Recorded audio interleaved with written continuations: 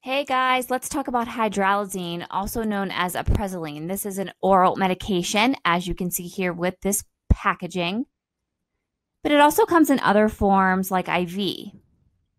Okay, remember when we talk about the therapeutic class, we're talking about how the drug works in the body, while the pharmacologic class is the chemical effect of the drug. So, hydralazine is an antihypertensive, while its pharmacologic class is a vasodilator. So, the action of hydralazine is it promotes arterial vasodilation following smooth muscle relaxation, which is why we use it for the treatment of hypertension. So be aware that there are some side effects that come along with hydralazine. These can include angina, tachycardia, and even arrhythmias.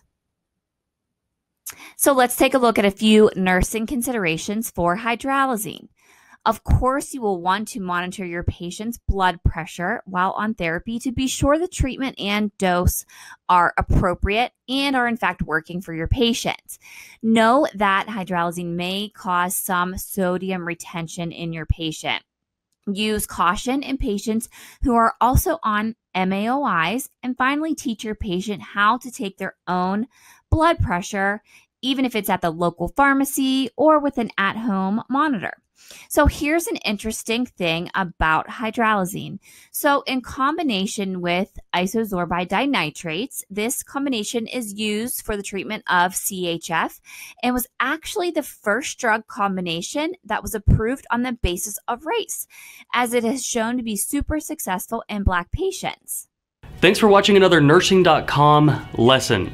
Click the link below in the description to watch thousands more lessons over on nursing.com. Also, be sure to hit the subscribe and the little bell to make sure you're reminded when new lessons come out. And if you wanna just keep watching more lessons, go ahead and click this video over here to continue learning. Like we always say here at nursing.com, happy nursing.